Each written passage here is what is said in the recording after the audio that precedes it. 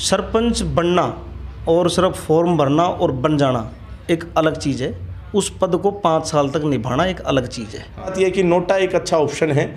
अगर आपको लगता है कि आपके गाँव में कोई भी कैंडिडेट ऐसा नहीं है, जो उम्मीदवार खड़े हैं, उनमें से अच्छा है या योग्य है, या फिर वो आगे सरपंच बनने लायक नहीं है, उस केस में आप नोटा बटन दबाएँ।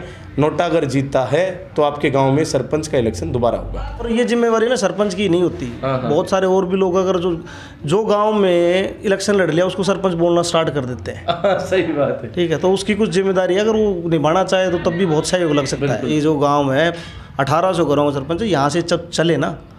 तो कनेडा में पता लग जाना चाहिए जी सरपंच गाँव से बाहर निकल गाँव से बाहर निकले सही बात। ठीक है ये दबदबा होना चाहिए और दबदबा अपने एटीट्यूड से बनता है। अपने पर्सनल इंटरेस्ट को सेंटर में रख के किसी का भला नहीं होने वाला ना हुआ ना होगा। उम्मीद है इनमें से कोई सरपंच जो हैं मैं ये बोलता हूँ जिसकी आप एक बात कहो ये गाँव के ही लोग हैं बट पाँच साल के लिए अगर आपने कोई पद लिया है आपने स्वेच्छा से लिया है किसी ने आपको बोला नहीं आप लोग गाँव समाज ने आपका समर्थन कर दिया। पाँच साल तक उसको ईमानदारी से निभाओ। एजुकेटेड सरपंच होना चाहिए जो डॉक्यूमेंट्स को प्रॉपर तरीके से गवर्नमेंट के सामने अधिकारियों के सामने प्रेजेंट करे कि देखो जी ये रिसोर्सेज है मेरे पास और आपको ये करना है। बिल्कुल। और इस ऐसा विजनरी सरपंच होना चाहिए। रही बात तो आपने लाइब्रेरी वाला ज़िक्र किया था। दुष्यंत चौटाला जी ने जो लाइब्रेरी का उद्घाटन करवाया था जो उन्होंने उनकी जो मांग पूरी की थी आपने देखा उसमें कोई इतनी बड़ी सी चीज़ तो थी नहीं? हाँ, ताकि जो मतलब कि भाई हरियाणा गवर्नमेंट स्पॉन्सर करेगी तभी होगी। क्या एक पंचायत उस चीज़ को स्पॉन्सर नहीं कर सकती कर सकती खूबी जल्दी कर सकती। हाँ दूसरा भी रखेगा तो ये खुद की भी जवाबदारियाँ हैं। तो ये हमें लेके चलनी पड़ेगी सारों को। जवाबदार एक पंचायत बने सभी जवाबदार वोटर हों तो बिना भेदभाव के बिना किसी के ईर्ष्या के अपना एक योग्य उम्मीदवार को मत दे। मेरा तो यही कहना है।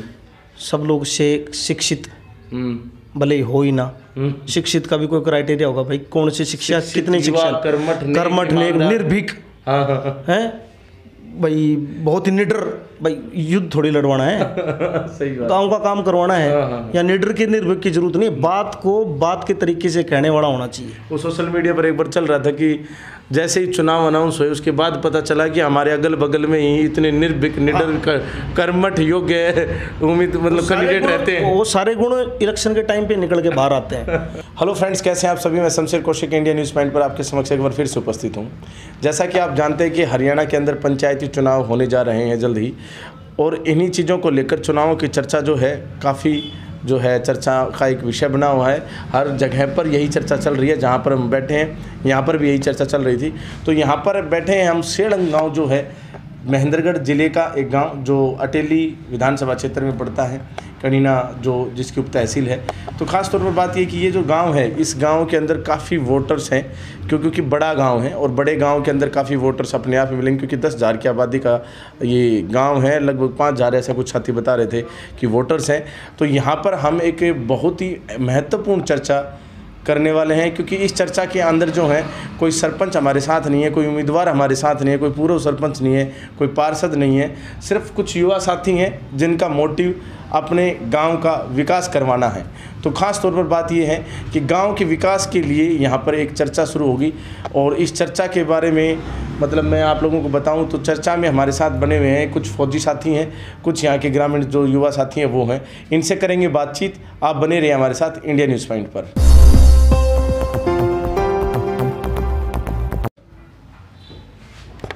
सर स्वागत है आपका इंडिया न्यूज़ पॉइंट पर। बहुत बहुत धन्यवाद आपका। जी एक बार दर्शकों का नाम बताएँ अपना। मैं मंजीत यादव मेरा नाम है। क्या करते हैं? शेलंग का रहने वाला हूँ मैं। जी। मैं एयरफोर्स में कार्यरत हूँ। अच्छा। और आपके सभी दर्शकों का मैं हाथ जोड़कर नमस्कार करता हूँ। कैसा सरपंच चुन रहे हैं? सर सरपंच जो चुनना है हमें उसको सोचना है कि वो गाँव के विकास में सोशल डेवलपमेंट में इकोनॉमिक डेवलपमेंट में सोशल जस्टिस में उसकी क्या विजन है? अभी ये सब चीज़ें पंचायती राज एक्ट में, जो उन्नीस सौ तिरानवे में अमेंडमेंट हुआ था, उसकी ग्यारहवीं अनुसूची में सरपंच को और ग्राम पंचायत को ये पावर और रिस्पॉन्सिबिलिटी दी गई है ताकि उस वो अपने इकोनॉमिक डेवलपमेंट को या सोशल जस्टिस को, वो कैसे अपने प्लान को प्रिपेयर करे। तो मेरा ये सबसे पहले मानना है जो भी कैंडिडेट खड़े हुए हैं उनको पंचायती राज एक्ट के बारे में पता होना चाहिए। उनको अपनी पावर्स का पता होना चाहिए अपनी रिस्पॉन्सिबिलिटीज़ का पता होना चाहिए। ये सब चीज़ें संवैधानिक चीज़ें हैं। लगभग कितने लोग खड़े हैं यहाँ पर? जहाँ तक मेरा आइडिया है ग्यारह नॉमिनेशन हो चुके हैं। अच्छा ग्यारह नॉमिनेशन हो चुके हैं। ग्यारह नॉमिनेशन कुछ कवर फार्म भी हो सकते हैं इसमें? ग्यारह तो फॉर्म है इनमें से देखो कवर फार्म एक दो लगे होंगे। बट जैसा कि आपको पता होगा कि गवर्नमेंट के सख्त ये आदेश हैं कि भाई आप ये कोई फार्म ऐसे रिजेक्ट नहीं होगा कोई है उसमें कानूनी प्रक्रिया कि ऐसे फॉर्म रिजेक्ट नहीं होंगे। तो हम मान के चलिए ग्यारह कैंडिडेट इलेक्शन लड़ेंगे गाँव में। तो अभी हम मोटा मोटी बात करते हैं जैसे कि अब हर एक आदमी है वो ये बोलता है कि भाई अच्छा जो भी गाँव से बाहर रहता है या गाँव के अंदर रहता है अपना समाज अपना गाँव सबको अच्छा लगता है। सब चाहते हैं कि भाई इस देश में सारी बातें बोली जाती है मेरा देश महान। तो मेरा गाँव महान वाली बातें कब स्टार्ट होंगी? मेरा सब मोटा सा सवाल यही है। बिल्कुल पर मेरा देश मान तो ठीक है कब ये जो गाँव है ये भी तो देश का ही पार्ट है। तो अब मेरा गाँव मान से अगर गाँव मान हो गए तो देश तो अपने आप मान हो जाएगा। हो अभी ग्यारहवीं अनुसूची में मैंने जैसे बताया सारी चीज़ें लिखी हुई हैं। पढ़ना चाहिए। उसमें मोटे मोटे पाँच छः मैं आपको बता देता हूँ। कृषि सुधार का ये भी एक सरपंच की ज़िम्मेदारी है। हम्म, हम्म, सोशल जस्टिस आपस में भाईचारा गाँव में जो सैनिटेशन का काम है साफ़ सफ़ाई का है ये सब बेसिक चीज़ें हैं ये हर एक आदमी को पता है और हर एक आदमी उम्मीद करता है कि भाई ये हो। सही बात है। ठीक है। अभी हमारे देश के प्रधानमंत्री जी ने एक बहुत अच्छा नारा दिया था कि भाई आत्मनिर्भर भारत। हम्म, आत्मनिर्भर पंचायत की बात भी होनी चाहिए। हाँ आत्मनिर्भर भारत की बात हो रही है तो आत्मनिर्भर पंचायत की बात भी हो। अब वो कैसे होगा वो इन सरपंचों को पब्लिक को बताना चाहिए। हम्म, हम्म, तो मेरा तो मेरे गाँव के जो वोटर्स हैं उनसे सबसे यही है अगर आपके पास कोई सरपंच आता है उसमें कोई बच्चा है एजुकेशन जो पढ़ने वाला है जो शिक्षा के क्षेत्र में है और जिसको क्योंकि आप मान के चलो कि हर एक आदमी हर एक गाँव में इतना अफोर्ड नहीं कर सकता है। जैसे आप लोगों ने सुना होगा कि महेंद्रगढ़ डिस्ट्रिक्ट लगभग पिछड़े डिस्ट्रिक्ट में आता है बट एजुकेशन में हमें कोई पिछड़ा बोलते हैं। जब हम एजुकेशन में इतना बड़ा काम कर सकते हैं तो बाकी चीज़ों में भी कर सकते हैं। कर सकते खूब इजीली कर सकते सही बात। ठीक है तो अभी मैं अपने गाँव की जैसे बात करूँ अब आत्मनिर्भर गाँव की अगर मैंने बात शुरू की तो मैं उसके बारे में मोटा मोटी बता देता हूँ। हम्म, हमारे गाँव की पंचायत में मेरा ये पर्सनल मानना है कि वो पचास हज़ार से रुपए लेके एक लाख रुपए तक की इनकम पर मंथ जनरेट कर सकती है। एक महीने की पचास हज़ार से एक लाख रुपए इनकम जनरेट पंचायत खुद कर सकती है। अब जी आपने जैसे अपने इंट्रोडक्शन पार्ट में बताया कि जी दस हज़ार घरों की आबादी का गाँव है दस हज़ार लोगों का आबादी गाँव है पाँच हज़ार प्लस वोटर हो रखे हैं अच्छे अच्छे शिक्षित और अच्छे अच्छे अधिकारी इस गाँव से निकले हैं है ना? पढ़ा लिखा गाँव है। बिल्कुल। तो उसके बारे में उनको ये चीज़ सोचनी चाहिए कि भाई हम जो एक कंटेंट लेके आ रहे हैं हम जो सरपंच चुन रहे हैं अभी सुबह मैं अखबार पढ़ते हुए देखूँगा जी मोदी जी ने ये कर दिया तो मैं उसको तो एक मिनट में ब्लेम कर देता हूँ। हम्म, हम्म, देश के प्रधानमंत्री हैं। या न्यूज़पेपर पढ़ते पढ़ते हम उनकी अकाउंटेबिलिटी फिक्स कर सकते हैं तो गाँव में हम पंचायत की अकाउंटेबिलिटी कब फिक्स करना शुरू करेंगे? बिल्कुल जाएगा ये मेरा कहना है। बहुत अच्छी बात। है अच्छा और कुछ कहना चाह रहे हाँ मैं ये बताना चाह रहा था कि अभी सवाल ये आता है कि भाई पचास हज़ार से एक लाख रुपए कैसे कमाए जाएँगे? हाँ। अब उसका एक मोटा सा एक उदाहरण तो मैं आपको बता देता हूँ। कभी मौका मिले तो गाँव के सरपंच जो कैंडिडेट है उनसे पूछना चाहिए उन्होंने बता दिया थे एक आप बता दो अब। हाँ सही बात है एक एक ठीक है। आप बता रहे दूसरा अभी ये अठारह सौ सोलह सौ सत्रह सौ घरों की आबादी का गाँव है। हम्म, हम्म, आप मोटा मोटा सोचिए कि एक घर से कितना गीला कचरा और कितना सॉलिड वेस्ट एक दिन में निकलता होगा। हाँ मतलब कुछ किलो में तो डेली निकलता ही होगा। निकलता होगा? हम्म, अगर मैं मोटा मोटी मान के चलूँ 500 से 700 किलो एक किलो भी लेके चलता हूँ दिल्ली का मेरे पास आता है। तो जो मेरे गाँव में पंचायत की ज़मीन होती है हम उसका ईजिली एक टेंडर प्रोसेस कर सकते हैं जो कि होता है। बहुत सारी पंचायतों ने करके दिखाया इवन राजस्थान में भी कई पंचायतें हैं जो लोग डीप में जाएँगे तो उन्होंने किया है ये चीज़। सॉलिड वेस्ट अलग हो जाए लिक्विड वेस्ट अलग हो जाए और हम उसको जगह देंगे।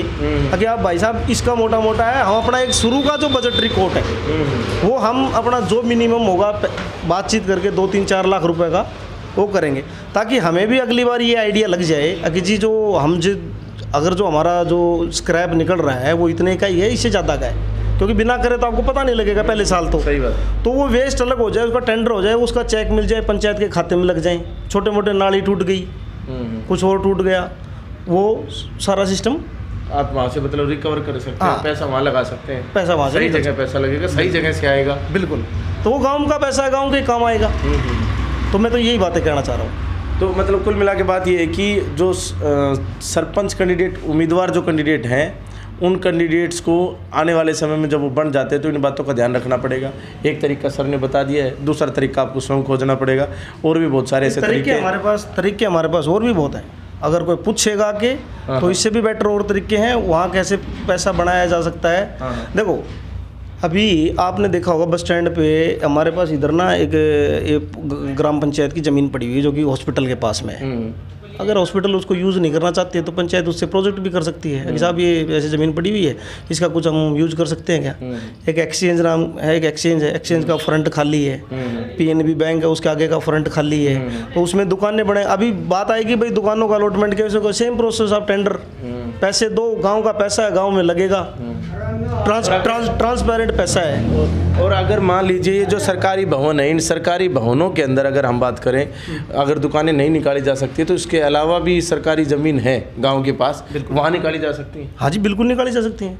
बट ये तो आपको बैठ के लोगों देखो सरपंच आप बन गए ना तो मोस्टली मैंने जो सुना है उसकी चीज़ें क्या आती है जी मैं क्यों टेंशन लूँ? मैं तो कर लिया प्रयास। तो भैया आपको किसी ने बोला नहीं था आप सरपंच बनने के लिए? सही बात ये तो आपने बड़ा ज़िम्मेदारी वाला आपका आपका स्वयं का काम था तो आपको स्वयं इस चीज़ का इनिशिएटिव भी खुद लेना पड़ेगा। ये आपकी टेंशन है ना कि गाँव की टेंशन है कि आप उनको कैसे कन्विंस करो? नहीं सरपंच में भी थोड़ी इस तरह की बात है कुछ अ, कुछ जगह पर ऐसा हो जाता है कि लोग शराब पिलाते हैं फिर वो वोट वोट ले लेते हैं उसके बाद उनके विकास की विकास की तो बात करने की ज़रूरत ही नहीं उनको। ये बड़ा गंभीर मुद्दा है। ये जो ये जो शराब वाला है ना ये बड़ा एक ऐसे और भी कई प्रमुख हाँ, बड़ा सेंसिटिव मामला हो गया कास्टिज्म के ऊपर चले अभी मैं मोटा मोटी चलूँ तो मेरे गाँव में लगभग मेरे गाँव में क्या कहीं भी चुनाव में आप उठा के देख लो। हाँ। कोई भी चुनाव शुरू होता है उसका उसका जो इक्वल टू या उसका ना baseline जो बेस लाइन जो होती है। वो होती है जी शराब। शराब। अभी गाँव में क्या शराब भी है? हाँ सही बात है। एक एक वो तो नहीं अगर है। होंगे भी तो चुनिंदा जिसकी जो रिक्वायरमेंट है वो क्या अभी मैं तो बोलता हूँ कि जो बच्चे हैं पढ़ने वाले उनको सरपंच से आए कैंडिडेट से आए जो भी आए उससे ज़िम्मेदारी तय करनी साहब मेरे को चाहिए लाइब्रेरी ठीक है? हमारी रिक्वायरमेंट आज के दिन लाइब्रेरी की है। लेडीज़ बोलेंगे साहब हमें एक आपने सुना होगा सेल्फ हेल्प ग्रुप करके एस एसएसजी करके होता है जिसमें सेंट्रल गवर्नमेंट भी हमारी गवर्नमेंट भी बहुत अ, मतलब इस चीज़ को फोकस करती है कि जी एसएसजी जितने गाँव में होंगे उतना ही उनका सोशल जस्ट सोशल और जो वुमेन एम्पावरमेंट है वो चीज़ें होंगी। ठीक है? तो वो चीज़ें सब चलती रहती हैं। ठीक है? तो उसमें अभी ये उनकी जिम्मेवारी है कि आप उन चीज़ों को कैसे बात करके कैसे मतलब आप उन चीज़ों को बढ़ावा दे सकते हैं? हाँ जी। तो कुछ मतलब विशेष बात तो ये है कि जैसे शराब हो गया या इस तरह के जो अलग से कुछ प्रलोभन होते हैं और कास्टिज्म के ऊपर भी वोटिंग चली जाती है भाईचारे के ऊपर वोटिंग चली जाती है लेकिन विकास के नाम पर वोट नहीं करना सीख रहा हमारा वोटर ये ज़िम्मेदारी लेनी पड़ेगी। आज नहीं तो कल लेनी पड़ेगी। नहीं तो ये आप सिर्फ़ जो व्हीकल घूमते हैं ना मेरा भारत महान जिन पे लिखा हाँ, हुआ है लिखा रहेगा। वो वहीं लिखा रह जाएगा। और वो भी फिर कीचड़ में से पानी उछलेगा और वो वहाँ कीचड़ लग जाएगा उसके ऊपर। बस वही बातें हैं। तो अगर देखो ये गाँव का काम है गाँव की जिम्मेवारी है। अगर हम जिम्मेवारी लें तो मेरे ख्याल से ऐसा कोई चीज़ नहीं है जो नहीं हो सकती। सही बात पहले साल कुछ डेवलपमेंट होगा अगले साल कुछ डेवलप तो आप एक नई लाइन से हट के बात करना आपने शुरू कर दिया है। तो हम्म। अगला जो भी इस चीज़ के ऊपर आएगा वो हमेशा यही सोचेगा भाई मेरे को इन मुद्दों के बारे में बात नहीं करनी पहले वाला ने ये मुद्दे किए हैं तो मैं सिर्फ़ और सिर्फ़ डेवलपमेंट के ऊपर चलूँ। और आपने देश के माहौल में देख लिया होगा पहले डेवलपमेंट वगैरह की होता नहीं था अब- अब अभी अभी मामला ही डेवलपमेंट का हुआ है। हाँ हो। हाँ सही तो बात। तो अभी महेंद्रगढ़ ज़िले से तनिष का जो बाछोद से है उसने नीट में अच्छे मार्क्स गेन किए और वो फ़र्स्ट रैंक पर थी। उनके यहाँ, जैसा कि सर ने अभी ज़िक्र भी किया ई लाइब्रेरी का। तो ई लाइब्रेरी की जो शुरुआत की गई, दुष्यंत चौटाला जो हमारे यहाँ के उप मुख्यमंत्री उनके माध्यम से एक अच्छा प्रयास किया गया। लेकिन उन्होंने भी कहा था कि सभी ग्राम पंचायतों को ऐसा करना चाहिए और लाइब्रेरी जो है, इस तरह की हर गाँव में होनी चाहिए ताकि जो भी बच्चा पढ़ना चाहे, वो ईजिली अपने गाँव के अंदर ही रहते हुए पढ़ाई कर सके। एक अच्छा प्रयास, हम चाहेंगे कि जिस भी गाँव के अंदर अभी मतलब जैसे हम इस गाँव के अंदर बैठे हैं तो यहाँ के जो भी सरपंच बने या अन्य किसी गाँव के अंदर, सब जगह ही बनेंगे सरपंच तो जहाँ पर पॉसिबिलिटीज़ हो सके, वहाँ पर अपना प्रयास करके लाइब्रेरी और ई लाइब्रेरी अगर हम कहें तो ज़्यादा बेटर रहेगा। ई का मतलब वहाँ इंटरनेट की कनेक्टिविटी भी हो जाती है। तो ई लाइब्रेरी ओपन की जाए ताकि यहाँ के जो बच्चे हैं, वो शिक्षा के इस हथियार का इस्तेमाल करते हुए कामयाब हो सकें। अच्छा एक और विशेष बात है, मैंने देखा है अलग अलग गाँव में अलग अलग इवन शहरों के अंदर भी, कि सरकारी ज़मीन पर सरकारी भवन ग्रांट लाकर बना दिए जाते हैं। चाहे वो चौपाड़ हो चौपाल हो चाहे पंचायत घर हो चाहे कुछ इस तरह के जैसे सरकारी कोई भी भवन हो धर्मशाला वगैरह लेकिन उनका रख रखाव नहीं हो पाता है। ये यही मैं बात बोलने वाला था कि बनाना और संभालना हाँ। बहुत अलग अलग चीज़ें हैं। बना कोई भी कुछ सकता है। लेकिन ज़िम्मेदारी कहीं ना कहीं वर्तमान पंचायत की रहती है क्योंकि बनाया तो हो सकता है पिछली पंचायत ने अभी इस चीज़ को मैं पंचायत चुनाव से जोड़ देता हूँ। हाँ। सरपंच बनना और सिर्फ़ फॉर्म भरना और बन जाना एक अलग चीज़ है। उस पद को पाँच साल तक निभाना एक अलग चीज़ है। हाँ। आपको बहुत सारी चीज़ें उससे हटके बात करनी पड़ेगी। अपने परिवार से अपना पर्सनल इंटरेस्ट छोड़ के आपको आप पाँच साल के लिए गाँव का प्रतिनिधित्व कर रहे हैं। जी बिल्कुल। ठीक है आप कहीं भी जाओगे तो आपको नोमी आपको ये बोला जाएगा कि आप शेड़ंग गाँव के सरपंच हो। इसका मतलब ये हुआ कि आप दस हज़ार लोगों को जाके रिप्रेजेंट कर रहे हो। बिल्कुल। तो आपके हर एक एक्ट में और हाँ सही बात ठीक है ये चीज़ दिखनी चाहिए। कि आपके पीछे दस हज़ार लोगों की इज़्ज़त जुड़ी हुई है। हम्म, हम्म, ठीक है?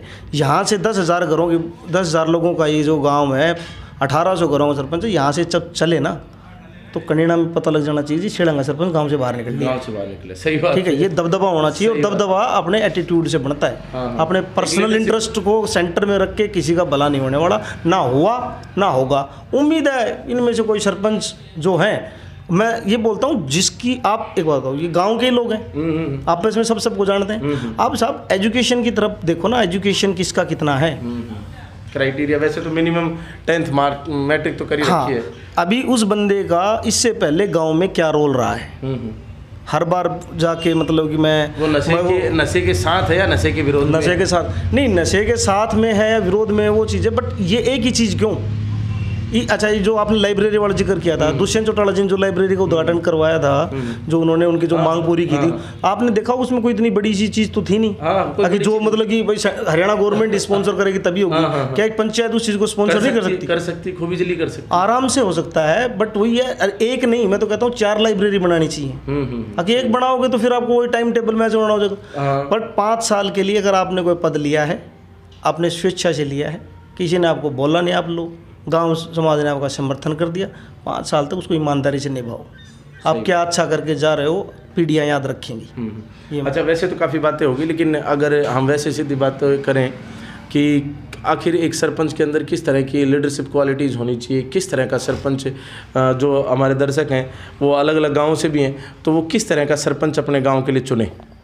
देखो जी ये जब आप किसी भी सरपंच के किसी भी कैंडिडेट के आज आप बैनर देखते हैं ना सब लोग से शिक्षित हम्म, भले ही हो ही ना हम्म। शिक्षित का भी कोई क्राइटेरिया होगा भाई कौन सी शिक्षा कितनी शिक्षा? कर्मठ, कर्मठ निर्भीक। हाँ हाँ हाँ। हैं? भाई बहुत ही निडर भाई युद्ध थोड़ी लड़वाना है। सही बात। गाँव का काम करवाना हाँ, है हाँ। या निडर की निर्भीक की ज़रूरत नहीं है। बात को बात के तरीके से कहने वाला होना चाहिए। वो सोशल मीडिया पर एक बार चल रहा था कि जैसे ही चुनाव अनाउंस हुए उसके बाद पता चला कि हमारे अगल बगल में ही इतने निर्भीक निडर कर, कर्मठ योग्य उम्मीद मतलब कैंडिडेट रहते हैं। वो सारे गुण इलेक्शन के टाइम पे निकल के बाहर आते हैं। ठीक है? और वो सिर्फ़ इसी तक संबंधित है। ये ये चीज़ें फालतू की लिखने की कोई ज़रूरत नहीं है। किसको चुने?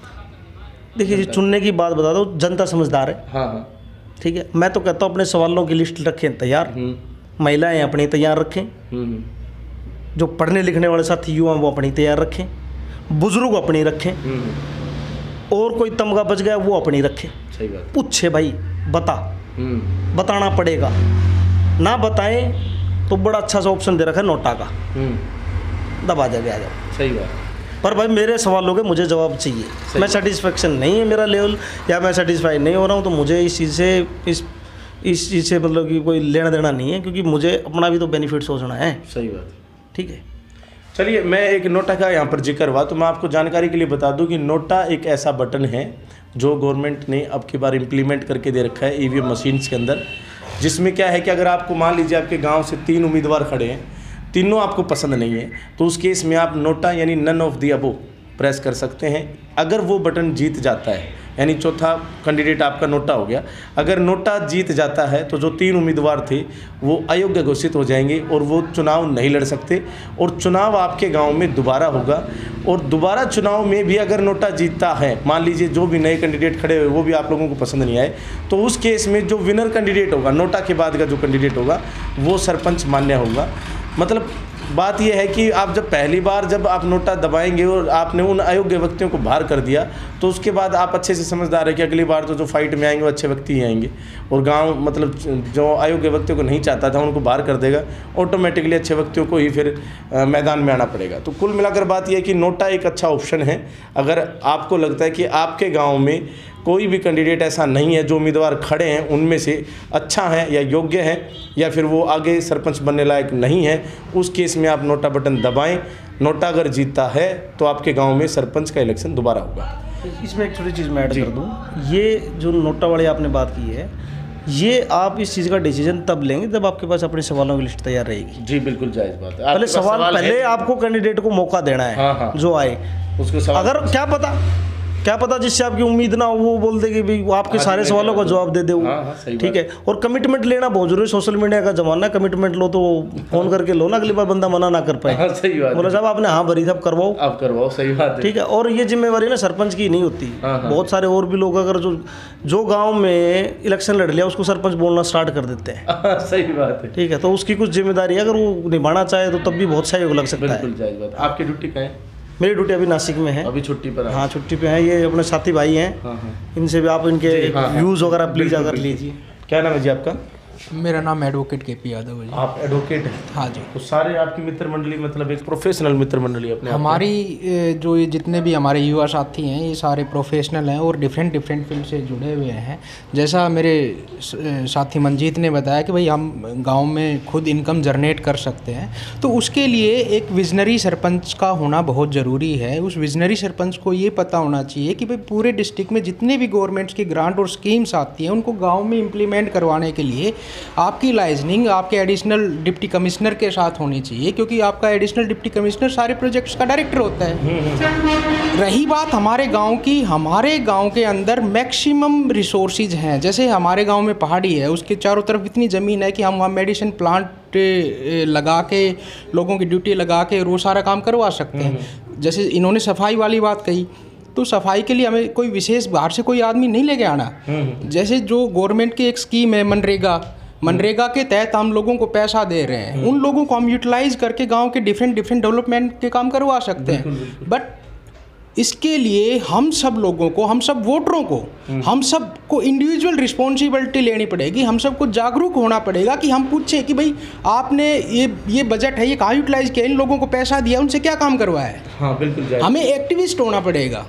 बट हो क्या रहा है? एक्चुअली मैं सभी लोगों को आपके चैनल के माध्यम से जागरूक करना चाहता हूँ कि हम अकाउंटेबिलिटी लेके दूसरों की टांग खींचने की बजाय हम पूछें क्योंकि वो पैसा हमारा है। बिल्कुल। वो किसी ना किसी सोर्स से वो पैसा जो गवर्नमेंट हमें दे रही है वो हमारा ही है। चाहे वो बिजली बिल के माध्यम से लिया हो या और किसी टैक्सेस के माध्यम से लिया हो पैसा हमारा है।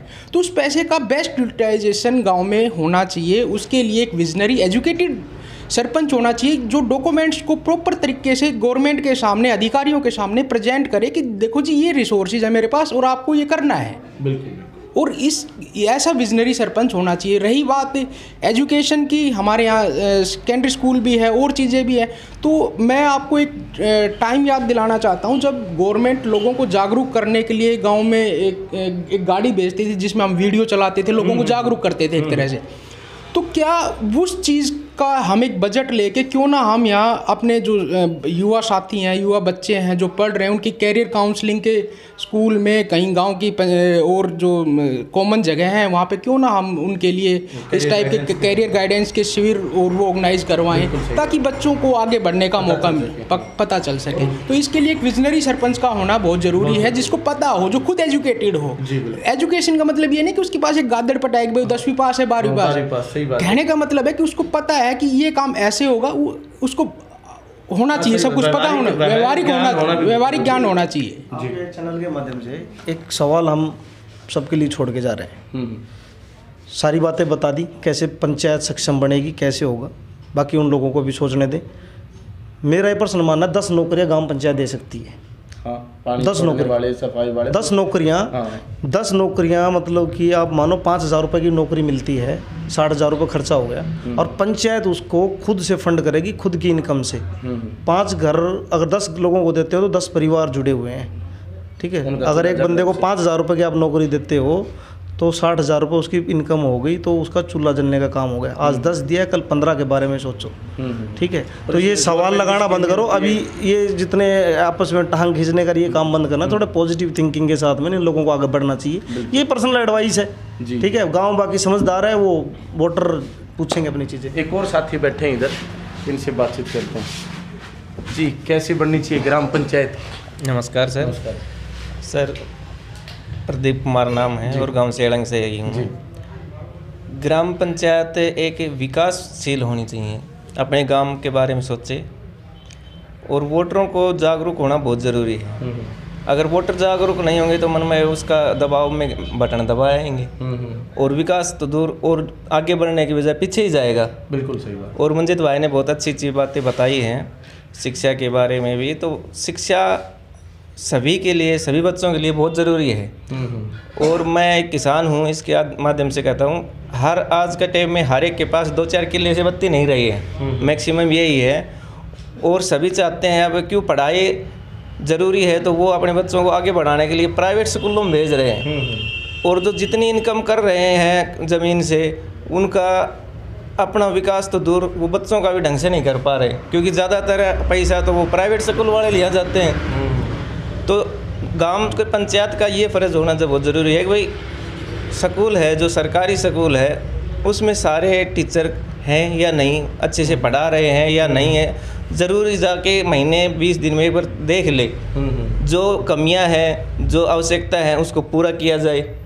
इसी के साथ साथ है आगे बढ़ने के लिए एक दो कोच होना बहुत ज़रूरी है। तो अगर वो बाहर से आते हैं बढ़िया नहीं तो पंचायत भी मैनेज कर सकती है एक दो कोच को। इससे क्या होगा कि जो बच्चे हैं वो उनको आगे बढ़ने के लिए मौका मिल जाएगा। और जो पंचायत है वो गाँव में पार्क वगैरह हर वार्ड में वार्ड में तो नहीं लेकिन अपने मोहल्ले में एक चार पाँच वार्ड ऐसे कर सकते हैं पार्क जिसमें बच्चे खेल सकें।